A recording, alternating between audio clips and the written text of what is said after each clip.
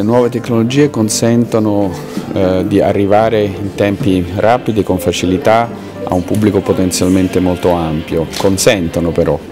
Poi eh, c'è bisogno di avere prima di tutto un'idea forte, distintiva, Secondo, un pubblico di riferimento, cioè sapere a chi ci si rivolge. Internet, come si sa, è un luogo soprattutto di nicchie, di piccoli gruppi, non è vero che internet è il luogo della massa. Adesso tutto quello che noi scriviamo viene eh, così, ottiene delle risposte in tempo reale eh, sui blog, con i post sui blog, con eh, post da ogni parte, sui social network, praticamente c'è un dialogo continuo tra lettori e, e fra chi fa i giornali. I think it's more free today, much more free.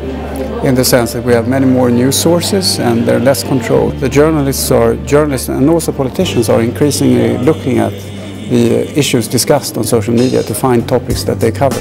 C'è un problema anche di controllo della qualità dell'informazione che ovviamente si pone dal momento in cui tutti un po' giochiamo a fare i cronisti sui nostri social media di riferimento. Io credo che sia, rispetto al festival il fatto che ci sia un dibattito intorno agli eventi su questi mezzi è molto bello perché le persone possono dibattere al di, al di là del luogo fisico in cui sono in un certo momento, questo è un elemento di grande valore. C'è anche questa rete di persone che parlano tra di loro, uno è qui per parlare con gli altri. Ci deve essere la curiosità dell'uomo che decide quale tecnologia può essere più efficace, di che cosa abbiamo davvero bisogno.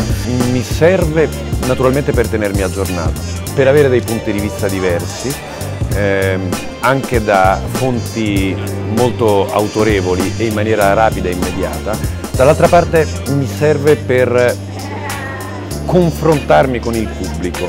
In barba a tutti i canali televisivi, a tutti i network, a, a tutti i sistemi dei media, fondamentale è il rapporto umano, la comunicazione, il confronto.